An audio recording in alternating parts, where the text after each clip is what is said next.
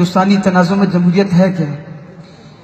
انیس سو سینتالیس کو جب ہمارا ملک ہندوستان آزاد ہوا، تو یہ کہا گیا تھا اس ٹائم کہ ہندوستان ایک جمہوری ملک ہوگا، یہاں پر نہ ہندو مسلمان کا فرق ہوگا، نہ کالے گورے کا فرق ہوگا، نہ مرد عورت کا فرق ہوگا، نہ بچہ بچی کا فرق ہوگا، یہ ایک جمہوری ملک ہوگا۔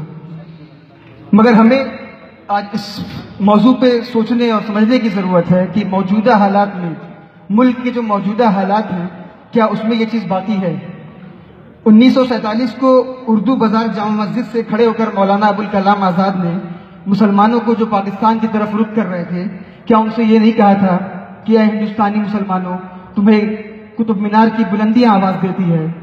اے ہندوستانی مسلمانوں، تمہیں تاج محل کا حسن پکار پکار کر بلا رہا ہے کہ تم اسی سرزمین پر پیدا ہوئے تھے اور یہیں مرو، یہیں رہو یہیں رہو، یہاں سے کہیں چھوڑ کر مت جاؤ۔ جمہوریت موجودہ دور میں کاغذات میں تو موجود ہے مگر پریکٹیکلی موجود نہیں ہے۔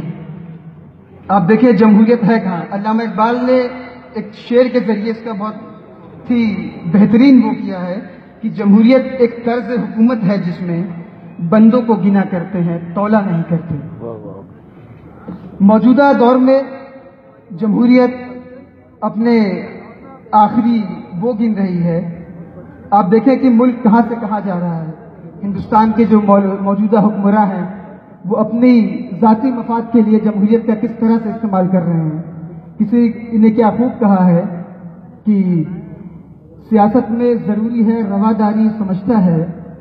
سیاست میں ضروری ہے رواداری سمجھتا ہے۔ وہ روزے تو نہیں سمجھتا، پر افطاری سمجھتا ہے۔ تو ہندوستان کی جمہوریت کا معیار آج اس قدر گر گیا ہے کہ ہمیں سے جمہوریت کہنے میں بھی بہت شرم محسوس ہوتی ہے۔ جمہوریت وہ تھی کہ یہاں سب برابر ہوں گے، سب کو برابر کے حقوق دیے جائیں گے۔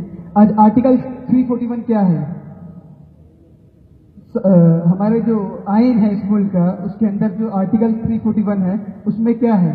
ریزرویشن کے نام پہ لوگوں کا استحصال کیا جا رہا ہے۔ آرٹیکل 341 کے نام پہ لوگوں کا استحصال کیا جا رہا ہے۔ اس چیز کو بند کرنا چاہیے۔ اگر ہندوستان واقعی میں ایک جمہوری ملک ہے، تو اس کے اندر سب کو حقوق برابر کے حقوق دینے چاہیے اور سب کے حقوق کے دستیابی کے لیے سب کو برابر کے جدوجہد کرنے کی تمیز ہونی چاہیے۔